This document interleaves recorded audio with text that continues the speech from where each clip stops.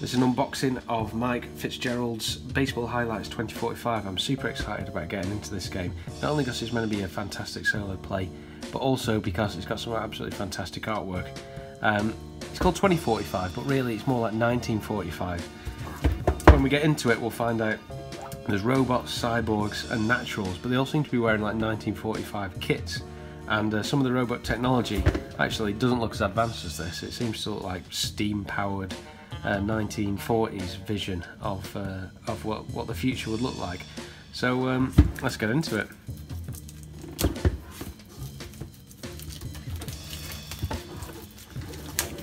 So in this game, basically, the, um, the Baseball Association Major League Baseball, MLB, you can tell I'm not a baseball fan, um, has decided that uh, things have come a bit stale and they've fallen behind the great sport competitor, American football. So they introduced cyborgs and uh, robots. Cyborgs are amazing pitchers, robots are amazing batters, and naturals, just the, the unmodified human players, are, are the fantastic fielders. Now, I've often thought that this is the way the Olympics should go, but I suspect I'm probably wrong. You know, if Usain Bolt just had robotic legs, um, or was allowed to take as many drugs as he wanted, then um, I think it'd probably be a lot more interesting spectacle. So uh, first thing about the unboxing, the photograph is absolutely fantastic. It's clearly been done on the dude's table uh, with a uh, baseball here. It shows it's about baseball. So uh, cheers for that, Mike. But uh, looks fantastic. Let's have a look inside.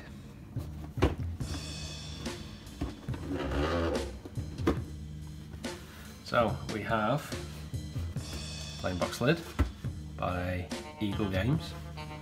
And we've got a rule booklet which is available as a PDF if you're particularly interested in this. And this is what I'm saying about the uh, the artwork. I mean, steam-powered robots in 2045. Not really that likely, but super cool. And uh, all the uniforms, they don't look like sort of uh, Adidas, Nike type affairs. They're sort of flannel uniforms. It's more like 1945, so it's an amazing aesthetic and here's the coach from one of the coach expansions.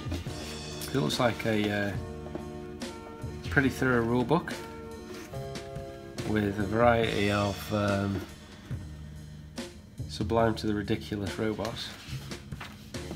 And here's what we're interested in, the solitaire rules. And we'll get into that in a, um, an overview of the game and also rules tutorial and playthrough. So, rulebook. We have some uh, actions cards as well. Now it's intended for one to four player. I believe there's um, a spring training version which is just for two player, but this is the four player version. Although not the super deluxe version, which is about 140 pounds, includes all of the um, all the upgrade cards and expansions. We've got home and visitor chits and a few tokens there.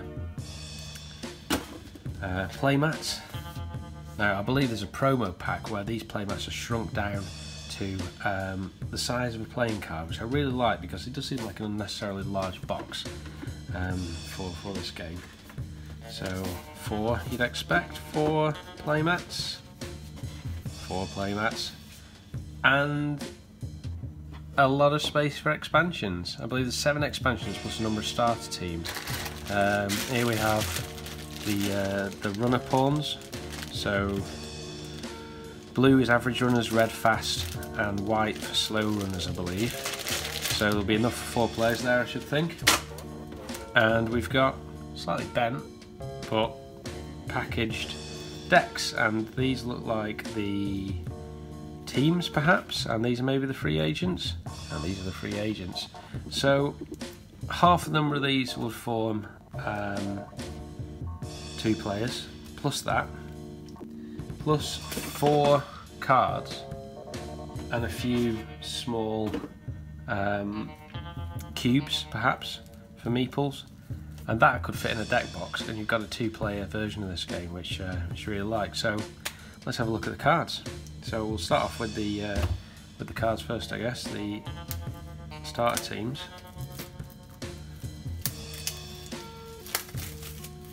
That's a shame that they've arrived bent, but I'm sure they'll straighten out in time.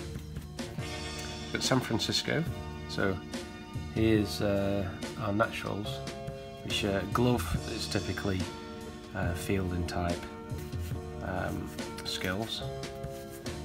Cyborgs, change all hits to walks. So they're uh, effectively giving you um, better pitching skills. Robots are just giving you better, um, better hits. So these greens, I believe, are the amount of revenue, and it generally uh, comes into apparently the uh, the naturals, or at least the free agent naturals, bring you more revenue because the, the fans like them, whereas the robots, the fans are a little bit skeptical, so they don't bring in quite as much. Uh, so we've got San Francisco, Los Angeles. Is there any difference in artwork? Colours by the looks of things. I love the way that this thing in the background looks like some kind of um, mech warrior but with a baseball instead of a cannon. Looks like something from War Machine.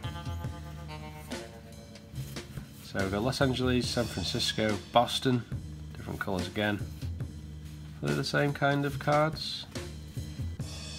Yeah, they look like identical starter decks. Glove cancel one hit. Pick off.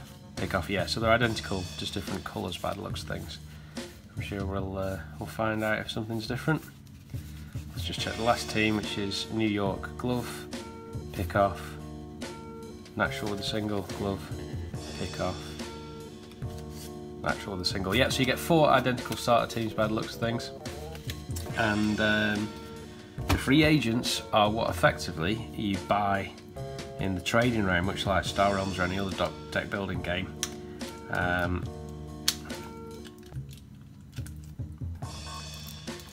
get these open. So this is where the real action of the game is, and um, this is where you can buy various expansions with new free agents. And there's three uh, expansions which are of particular interest to me, which is uh, just the robots, naturals, and um, and cyborgs, which provide different um, different cards. But I believe there's coaches, errors, and various other types. So these are for or from different areas Pittsburgh, San Francisco, New York, Cincinnati, Detroit. And if you look at the artwork, they are sort of old time baseball. Lovely moustaches, flannel shirts, old uh, old boots. So I think that's where the uh, 2045 slash 1945 sort of aesthetic comes from. But these are the um, the cards that you'll buy from round to round. So I can't wait to get stuck into this. If you like these kind of videos, do subscribe, uh, like and comment and uh, we'll catch you in the next one where we're probably going to do a playthrough. Uh, we'll do a rules tutorial in time and uh, let us know how you get on. So that is Baseball Highlights 2045.